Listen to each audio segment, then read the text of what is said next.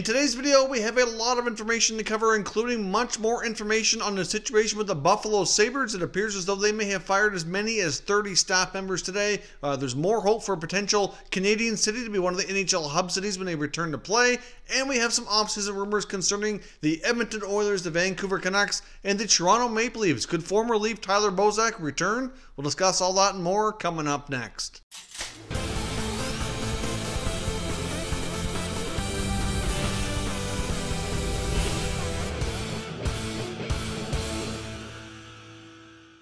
So welcome back to another video here, Top Shelf Hockey. Now, as I mentioned, we have a lot to cover this evening. It's been a very interesting, newsworthy day, and we're going to kick things off with the biggest news of the day, and that's what's going on with the Buffalo Sabres. Now, of course, earlier today, I put out a video discussing the firing of General Manager Jason Botterill, and I did indicate in that video that other staff members were rumored to be being let go, but a lot more information has come out in the last number of hours since that was originally uh, announced and released, uh, and we have a lot more information. It looks as though they may have fired as many as about 30 employees from the hockey operations department. I mean, during the uh, press conference that followed uh, the announcement of Botterill being let go, uh, the owners, Kim and Terry Pegula did announce that hockey operations needed to get more efficient and a lot leaner, and they weren't kidding. So here's a long list of Sabres front office people that are apparently let go as well with Botterill today. Uh, both of his assistant general managers, Randy Sexton and Steve Greeley, the entire coaching staff from the American Hockey League team,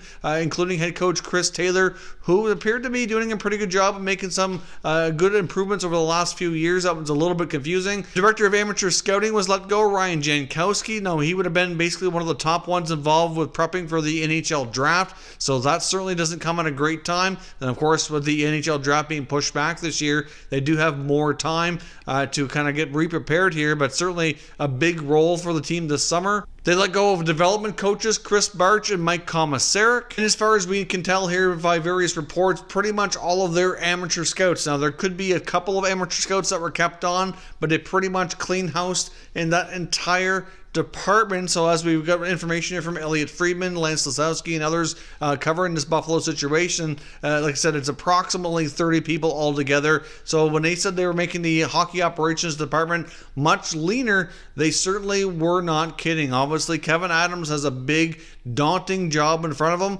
Uh, earlier, when he taking over as general manager, that job alone and its you know, normal duties is going to be a daunting task considering where the Sabres have been. So they're now going to be rebuilding from a rebuild, which has basically lasted the entire time of the duration of ownership that the Pegulas have owned the Sabres since 2011. One thing's been consistent during their time is owning that franchise, and that is that there really isn't any consistencies at all. Uh, they have nothing but change. They've now will be on their fourth general manager and their sixth head coach during that time. So yes, there is a common denominator here, and I am pointing the finger at them a little bit. They need to take ownership of the fact that I'm not real confident in their abilities to run this franchise at this point, but obviously they're building it from the ground up at this point. They have a lot of faith in Kevin Adams, but the fact that they didn't even do an external GM search is concerning to me. I mean, I understand they know Adams well. He's worked with the organization for quite a while in various roles, and they trust him. And, you know, I guess we'll give him the benefit of the doubt to see how we can do here, but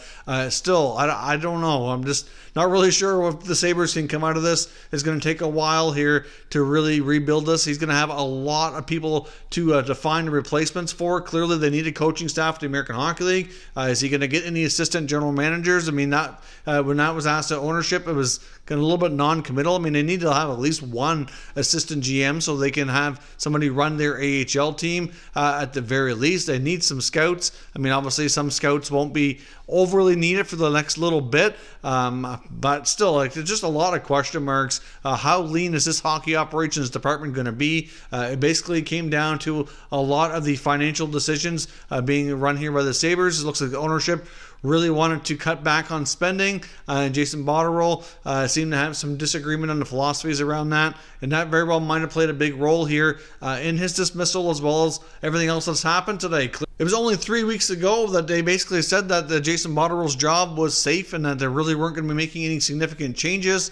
And now here we are today, of course. And in the interim, we've heard Jack Eichel come out with his frustrations about losing. And ever since Eichel made those comments, there's been a lot of talk. Well, could Eichel be traded? what's going to happen. You know what? Obviously, they're not going to be trading their top star hockey player. They want to build around him, and they need to have some people who can do that. I mean, Jason Botterill uh, certainly did not do a great job. He lost some trades, especially that Ryan O'Reilly deal was not good. Uh, some you know not so favorable signings. Uh, obviously needed to make some more trades this year and just weren't able to get it done. So I do agree that they need a change. It's just this is a pretty drastic measure. Not really sure we've seen anything like this before uh, in recent memory, where uh, an NHL ownership team has come through here and just completely cleaned house with its entire hockey operations department. So I guess we'll see what will happen with all these jobs in the future and who they hire as replacements. Was being reported as well that new GM Kevin Adams had to make all these phone calls and notify these people of their dismissal. That to me is a pretty shitty job by ownership. I really think that they should have been the ones to handle that, given the fact that they these people didn't report into Adams before. So uh, you know that part I'm not real fond of. I think ownership should have had more of a hand in notifying the people that were being dismissed. But let me know your thoughts on the Sabres dismissals here. This is a pretty crazy day, another dark day in Buffalo. Do you have confidence in the owners and Kevin Adams be able to get this thing back on track? Let me know your thoughts down below and we'll discuss further.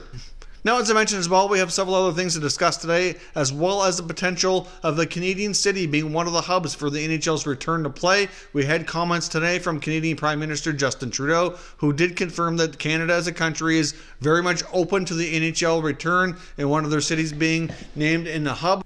Obviously, the three cities that are in play here are Toronto, Vancouver, and Edmonton. And he did mention as well in his comments that the provincial government and where those cities lie would have to be involved in that decision process as well as the local health authorities, but certainly open to it, which means that they very well could waive that right for players to isolate when coming into the country as long as they stay within their uh, hockey bubble or you know whatever they're being set up with there. So uh, obviously, those three Canadian cities very much in the mix. I know the NHL seemed pretty fond of the idea of having one of their hub cities being Canada. So great step forward to making that happen. Quick update as well on the Vancouver Canucks. Another report from Rick Dhaliwal talking about the Canucks possibly re-signing defenseman Nikita Tryamkin, who could return from the KHL to re-sign an NHL contract for the coming 2020-2021 season. Uh, there was a lot of reports a number of weeks ago that he was close to signing with Vancouver, and it very well could happen. Of course, with a lot of the uncertainty around the salary cap, that is a big part of the reason why it hasn't happened as of yet. But he's reporting now that uh, Tryamkin's likely looking at a one-year deal somewhere between between two and three million dollars, and that might prove problematic for the Canucks as much as they might be interested in bringing him back. Uh, obviously, they're going to have their own cap situations. We've talked about it at length here the past few days. Uh, they have some big time UFAs they want to bring back, including goalie Jacob Markstrom and Tyler Toffoli. They have another defenseman in Chris Tanev, who there does seem to be interest in returning uh, as well. They've got some RFAs that need to be signed, and they don't have a ton of cap space. And until they really get further clarification on what the cap is going to be next year, and it's not re- really clear exactly when they're going to have that, this very well might be a move that they very well may not be able to make after all, even though there is interest. But uh, it is possible as well we could see the player maybe hold on a little bit longer just to see. Um, you know, there's obviously no huge rush, but at some point they're going to want some certainty for next year. Maybe he won't return after all. I don't know, but certainly no guarantee that the Canucks can get this done at this point, considering the money he's apparently looking for. Now, as I mentioned as well, I want to talk about the Edmonton Oilers and a potential return for Jesse Puljujarvi. Is a player who's been surrounded by NHL trade rumors for a long time, really the entire season since he sat out and basically demanded a trade. But recently, we saw comments that he might be softening his stance and might be open to a return to Edmonton after all. There is some talk recently that maybe Puljujarvi might be having a change of heart for a variety of reasons. Maybe he's kind of seen the fact that maybe he was given some bad advice and shouldn't have pushed so hard for a trade. Maybe he should have been given this new regime in Edmonton more of an opportunity to work with him and see what they can do. Edmonton's going to be tied up against the cap like many NHL teams. They're going to need some really, you know, good solid contracts of good value to really fill out their bottom six. And uh, Jesse Puljujarvi might be a prime player who could fill one of those roles. I mean, he had a good year over in Finland. If he can get that confidence back and start developing like they thought he would when they first drafted him, he could very well prove to be a good commodity to join this team. This qualifying contract for the NHL would get him just under 900,000, so obviously a good deal.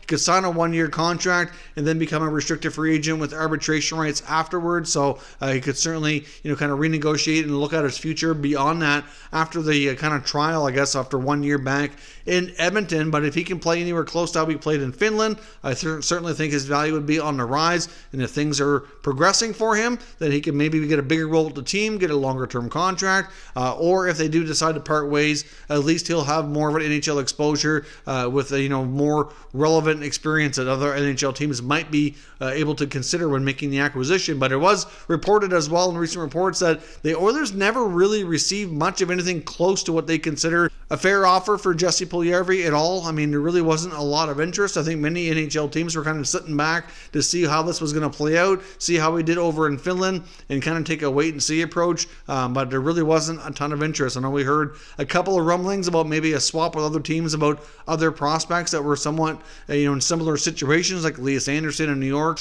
And it is believed there were some talks around that, but nothing that the Oilers really were uh, anxious about or really thought was a fair deal. So I guess we'll see, but it's looking more and more likely that Jesse Puljujarvi just very well might end up in Edmonton after all. Next up, I want to take a look at another article from Luke Fox of Sportsnet where he was asking a mailbag article Could the Toronto Maple Leafs look to bring back former center iceman Tyler Bozak, who, of course, uh, left via free agency a couple years ago and signed with the St. Louis Blues? Of course, Bozak's had some tremendous experience winning the Stanley Cup last year. Of course, the Blues are another top team this year. Very well could make a run at a second Stanley Cup. You just never know. Uh, but obviously, has one year left on his contract at $5 million.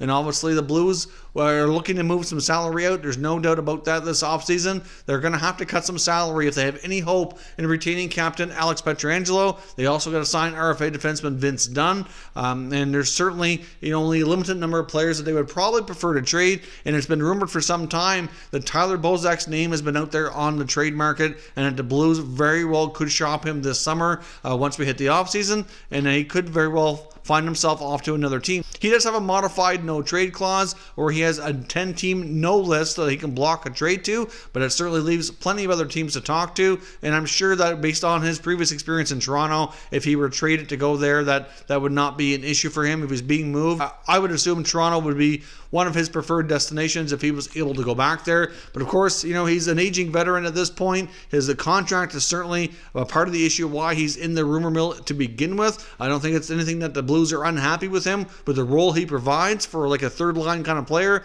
The last couple of years, he's been 35 to 40 points. And Bozak certainly provides a good leadership role for them. Great on faceoffs. You know, I don't think overall that they're really unhappy with him. It's just that they need to shed salary. But at the same time, this could prove problematic for Toronto. I do think that the Leafs would be interested in having a veteran like him play as the center ice position in the bottom six. It's not clear yet if Jason Spezza will return next year. I mean, he signed a one year league minimum deal, and uh, after Sheldon Keefe took over as head coach, he certainly did a lot better, and Vero could sign another somewhat cheap contract to return with the Maple Leafs. But as much as they might be open to the idea, I just don't know if money is going to be able to make this happen. Uh, clearly, Tyler Bozak with a $5 million cap hit would prove to be expensive. I don't see the Maple Leafs moving out a young player like a Johnsson or a Kapanen uh, or a Kerfoot or any of those guys for a one year of Tyler Bozak. Uh, I just don't see it happening. The Blues would have to retain salary. When I've seen this being discussed on the article, I was like, you know what, I would like to give my two cents on this, but